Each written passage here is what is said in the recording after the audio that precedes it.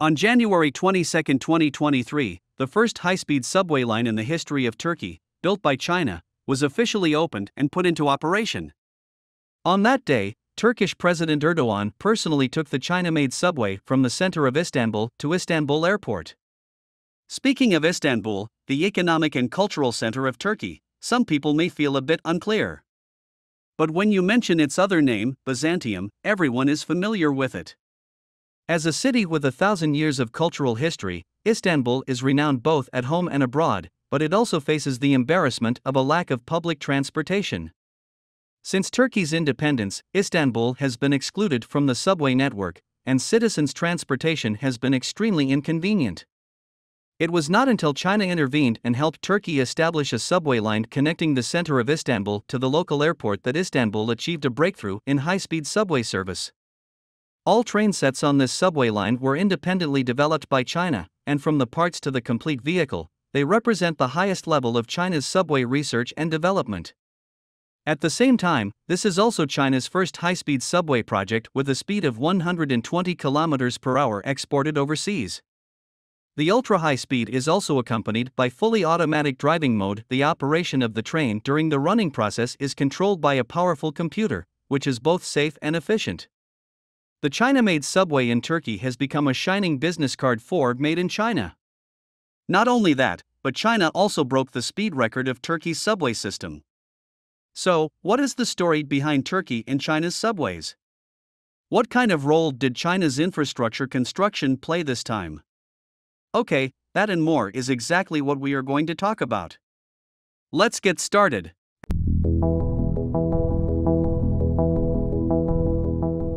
After the subway line officially opened, starting from the center of Istanbul and arriving at the newly built international airport, the whole journey only takes 24 minutes. As the saying goes, to get rich, build roads first. The opening of the Istanbul subway is not just about connecting the city center and the airport.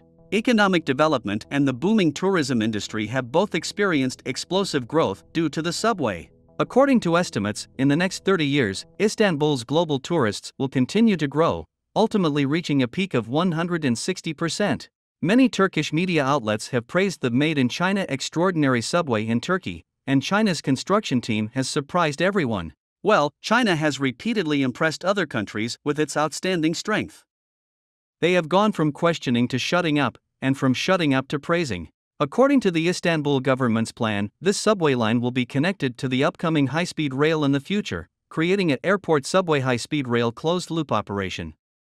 It is very likely that China will win the bid for this new project again. 147 years before the opening of the Istanbul Metro, Turkey's first metro line was officially put into operation. It was the second oldest metro line in the world, although it ran slowly and was only 573 meters long, it could transport tourists from the pier to the downtown area of Istanbul. Today, the ancient metro line is still in operation, and many tourists go there to take the subway to the city center. In fact, since its construction, the metro line has been popular. One end of it is the financial center of Istanbul, and the other end is a mountaintop over 60 meters high with coffee shops scattered around. The ancient metro line has always maintained a configuration of two cars, with a daily passenger flow of over 10,000 and an annual passenger flow of more than 5.5 million people. The 500 meter route connects Istanbul's bustling and peaceful areas, giving Istanbul residents a unique expectation for the subway. From one of the oldest subways in the world to the high speed subway line constructed by China, Istanbul has waited for 147 years, which is too long. The changes of the years have transformed Istanbul from an ancient city into a modern metropolis, and China has also evolved from an ancient country, through the humiliation of modern times, to become a world power and contribute to its old friend. According to Turkish official estimates, the newly constructed Chinese subway will carry more than 800,000 passengers per day, making it convenient for travelers from Asia and Europe. After 147 years, the once old metro of more than 500 meters has become a 34 kilometer long high speed subway. Although some Western media have obstructed it, believing that China is building the subway for other reasons, the successful construction of the Istanbul subway is a win win situation for both China and Turkey.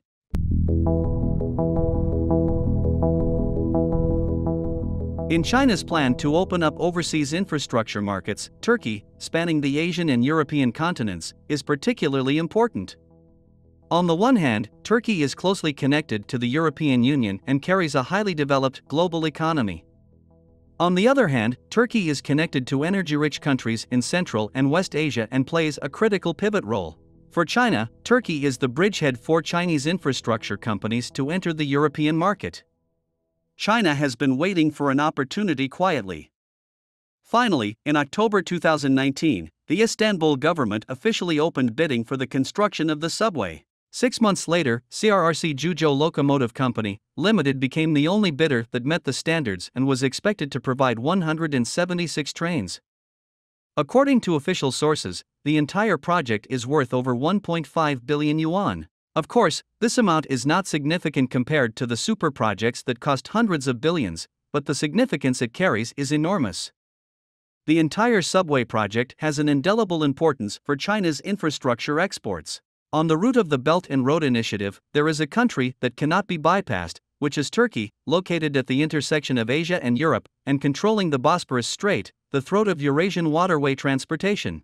In the great empires that spanned three continents of Europe, Asia, and Africa, such as the Persian Empire, the Alexander Empire, and the Roman Empire, Turkey had a place. Although modern day Turkey is no longer as glorious as it was in the past, it still has an important strategic position and political and economic status. As one of the new 11 countries, Turkey still maintains economic growth under the influence of the COVID 19 pandemic, with a GDP growth rate of 11% in 2021, ranking second in the world.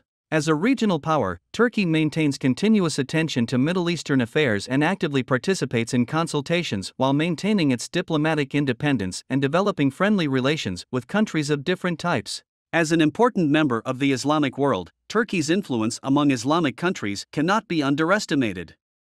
Its successful transformation from a colonial rule to a modernized country is worth learning from. It is precisely because of this that Turkey's modernization awakening and reforms can be so rapid and thorough.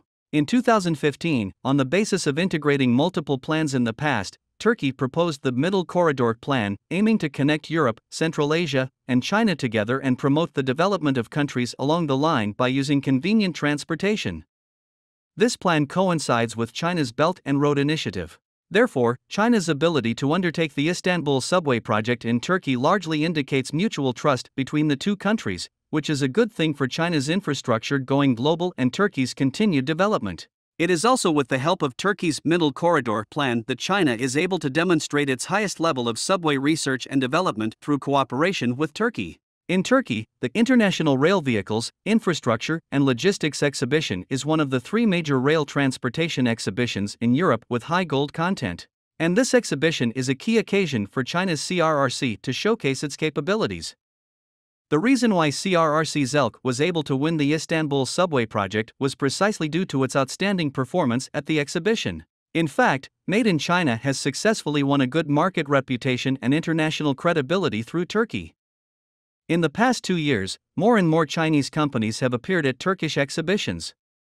Chinese companies from various industries such as Huawei, Eastern Communications, and HTGD have all found their corresponding positions in Turkey. China and Turkey's cooperation in infrastructure construction has successfully radiated throughout the entire industry. Well, thanks for watching. If you have any suggestions, just leave them in the comments section. We'll come back as soon as possible and check them, and then we'll give feedback.